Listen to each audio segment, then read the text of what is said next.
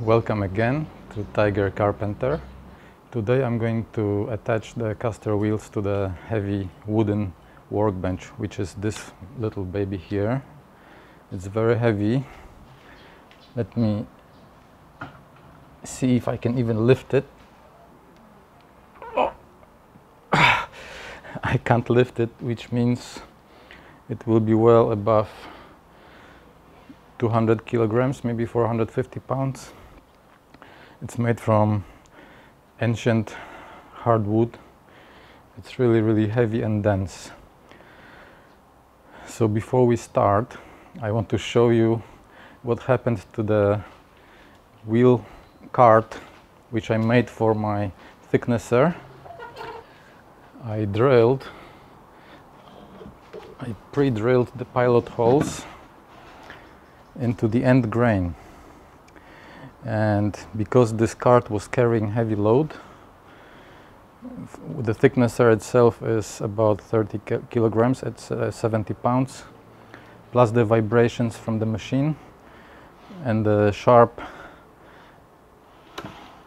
screws they caused the split in one of the legs which is visible here. Later on I will take the photo and zoom on the corner so what I learned from this, uh, you should not put the screw too near to the edge of the leg and I don't want to use the screws anymore. I will use stainless steel threaded inserts and bolts as well as I will secure the corners of the leg bottoms with the aluminum uh, angled profiles. So I believe this will be overkill but nevertheless this workbench will last me forever.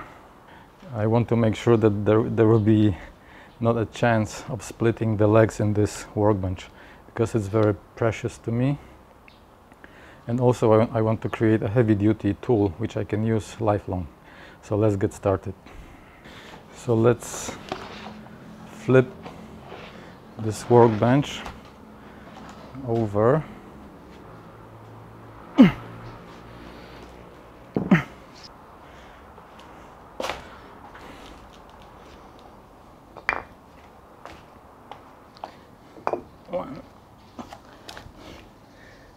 two, three, four, five, six. One, two, three, four, five, six.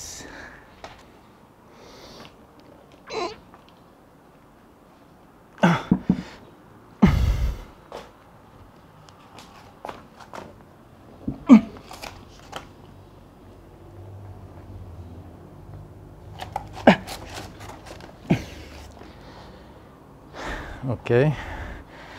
That was easy.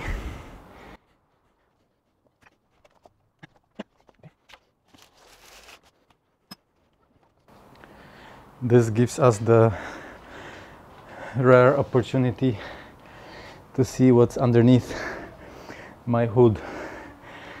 Have a look. Okay so this is the bottom of my workbench. As you can see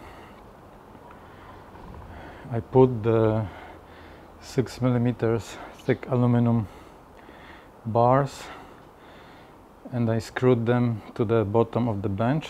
So this way I can prevent warping. And it pretty much did the job over time.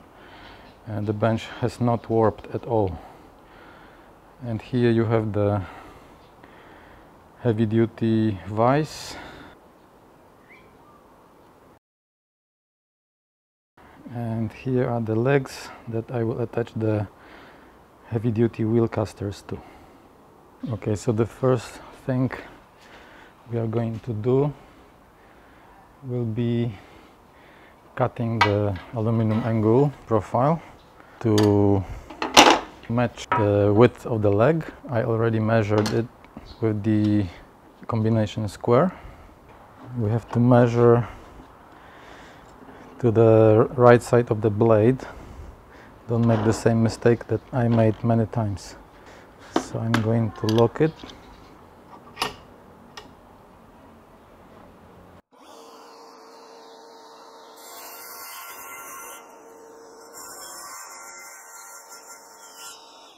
Let's have a look at the cut. Looks perfect. So that's how I will make this anti-split mechanism. There will be aluminum angle profile on two sides of the leg uh, bolted together and then I will only drill the caster wheels uh, threaded inserts. Now I can use the piece that is already cut to as a reference to make the remaining pieces identical. Again remember that we want to cut on the right side of the blade. I honestly made this mistake like thousands of times. You have to measure to the blade on the right side and to the right edge of the material. I can clamp it.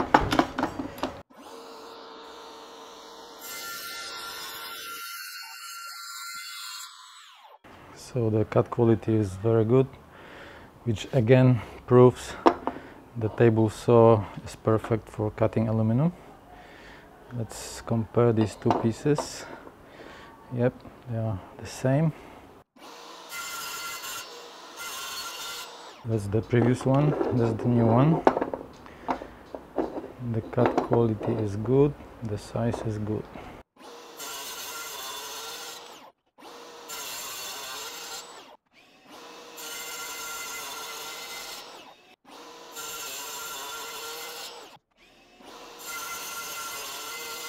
So now I'm going to put it on the legs to see roughly the layout. In my workbench I didn't have enough thick material to make all the four legs uniform. So these legs are not as wide or not as thick as these two. That's why for these legs I will have to trim one angle and cut off maybe 10 11 mm because it's a narrow cut and the material is also narrow. So I will have to put extra caution. I'm just going to put the blade slightly above the material. Vertical wall will be sliding on the fence and then I will push it here and here hopefully this will make the safe cut. Nevertheless.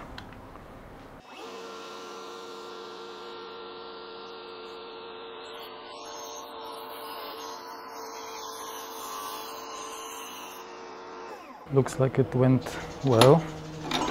The piece looks nice but it's very hot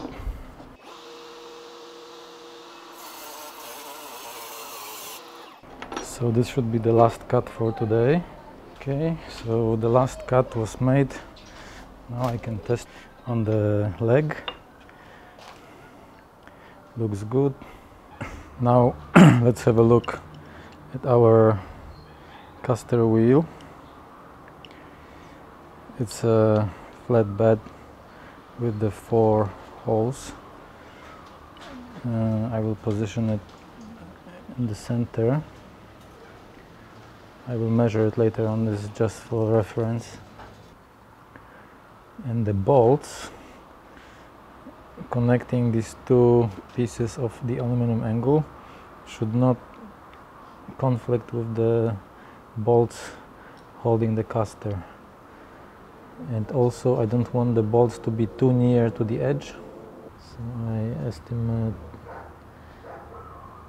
the bolts holes to be somewhere here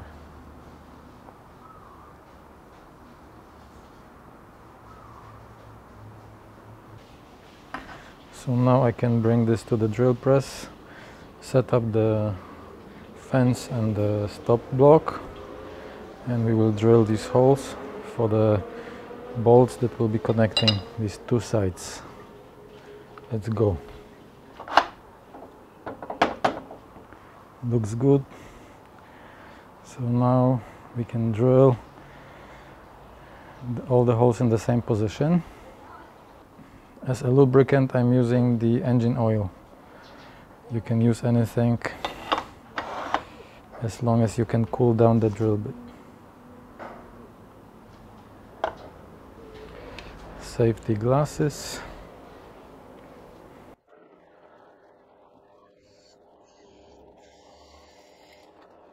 Okay, the hole is nice and clean.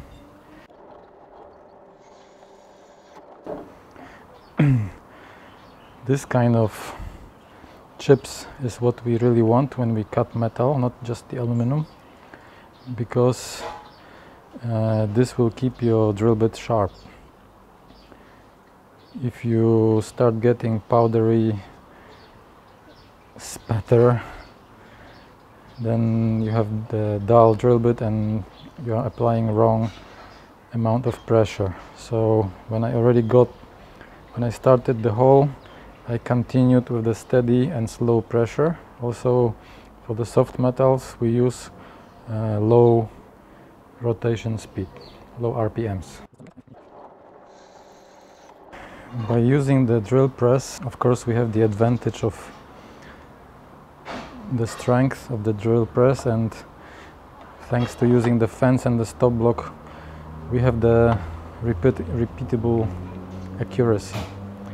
But of course, if you don't have the drill press, you still can make it with the hand drill you just need to maybe make some jig that will ensure the distance is the same. if you remember to use lubricant or coolant, I would rather call it a coolant, your drill bit will remain sharp. I'm using Bosch quality drill bit that also saves me a lot of money. Even when you buy it you think it's a little bit more expensive, but you can use it 10 times longer than the imported drills. I really like this kind of chips because I know that it's just cutting the material, not, not grinding it. You can see the holes are very crisp. And the last two pieces in this position of the stop block. You know when you apply a proper pressure and the RPM then the drill bit is not even getting hot. When you grind through the material then you get the overheating and melting and funny stuff. This kind of technique is really really effective. Done. So now I am going to move the stop block to adjust the stop block uh, in the identical distance from the edge. I use this hole.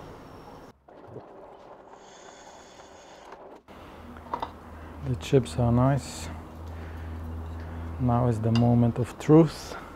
I don't know if you can see it but it's perfectly matching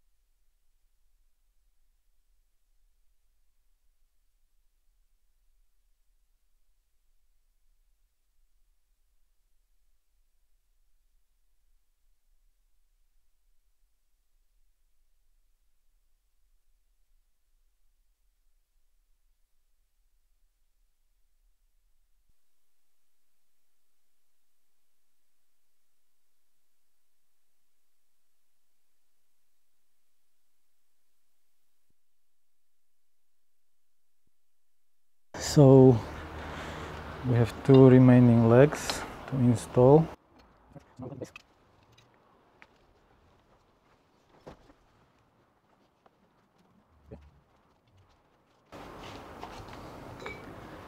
Let me mark it a little bit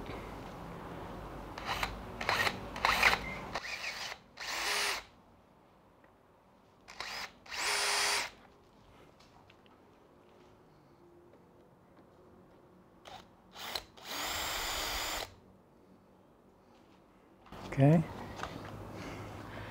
so this is our stainless steel jig that allows us to start the hole perpendicular to the surface.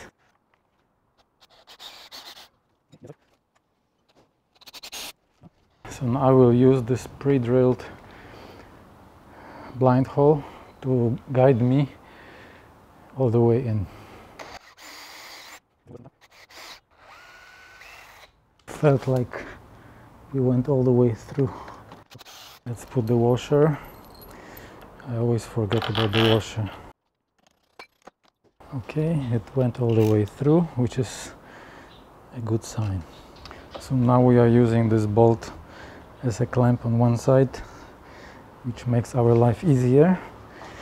However, I will clamp it additionally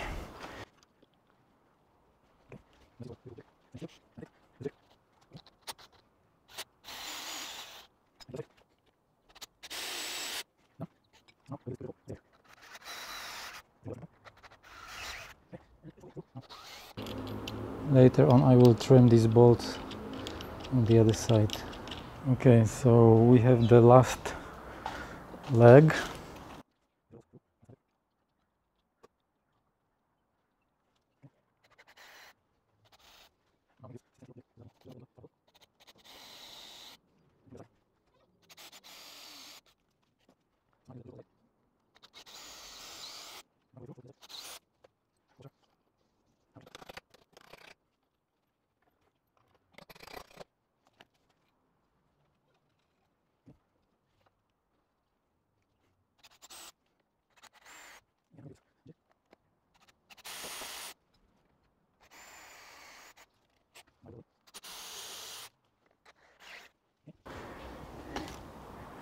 hammer friend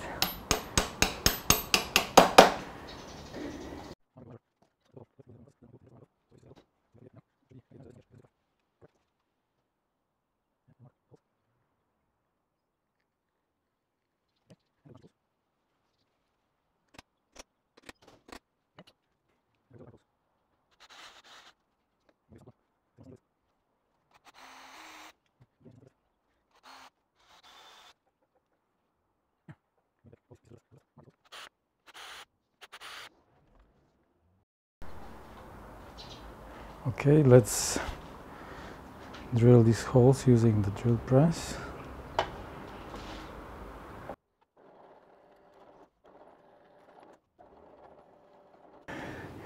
I want to drill the hole which is only 12 millimeters below the aluminum angle. Aluminum angle profiles in place with a little help from our friend called hammer okay so they are locked now. Now I am going to drill. I already set the depth of the stainless steel ring.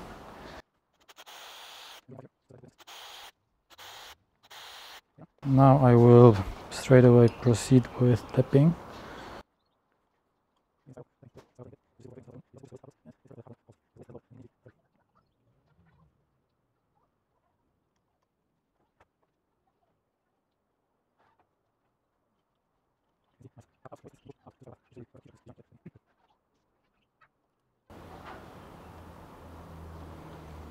Okay, so now the four holes are tapped and we can test it. Okay, so this is M6 bolt and as you can see it's going in easily. And this is really the most enjoy enjoyable part of this kind of project when you can assemble it.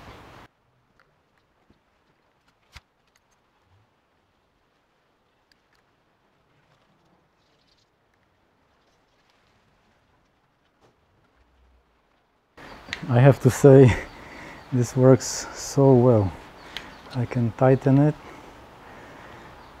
and it's really not going anywhere. So since I'm already here I'm going to trim these bolts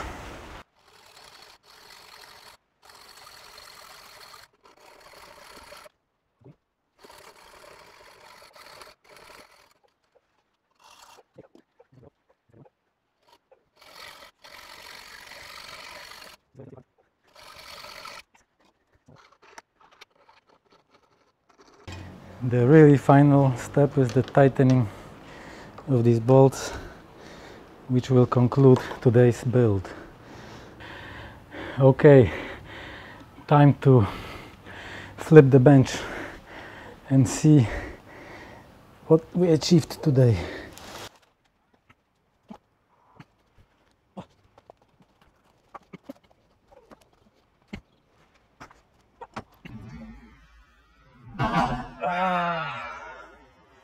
okay.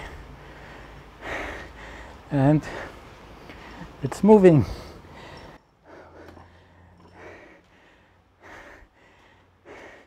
Yes. Don't forget to like and subscribe tiger carpenter. See you again